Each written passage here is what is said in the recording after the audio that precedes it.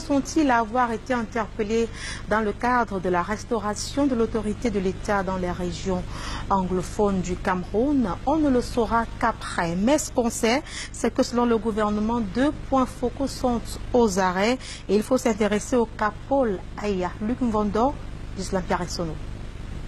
Fin d'après-midi, le 19 janvier 2017, Paul Aya Abine, ici lors de la présentation de vœux, au milieu du premier président de la Cour suprême et du procureur général pour la dite Cour.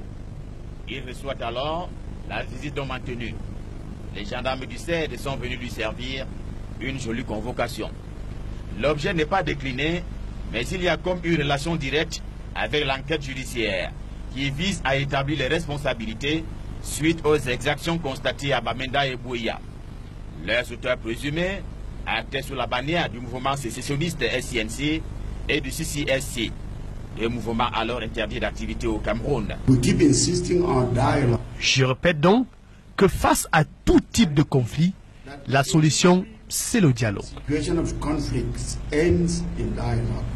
Également dans le viseur, un certain nombre de personnes telles que Congo Félix, Bala et Fontaine Aforteka, ainsi que l'indique le ministre de la Communication. Je vous ai dit, au lieu de procéder aux arrestations, quel que soit le temps, n'arrange pas le problème. Le cas Paul Aya Abine Donati, il fut député RDPC de la Magnou, il démissionna pour créer le pape, son parti politique, avant d'être nommé avocat général près la Cour suprême en 2014 par décret présidentiel. All the arrests they are operating should stop. Je dis toutes ces arrestations qui sont gérées, pourquoi procéder à ces interpellations avant de revenir au dialogue?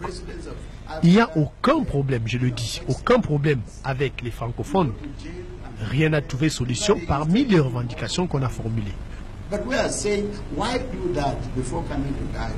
La liste des personnes interpellées est loin d'être exhaustive, en notant cependant que le 10 janvier dernier, 21 personnes avaient été libérées.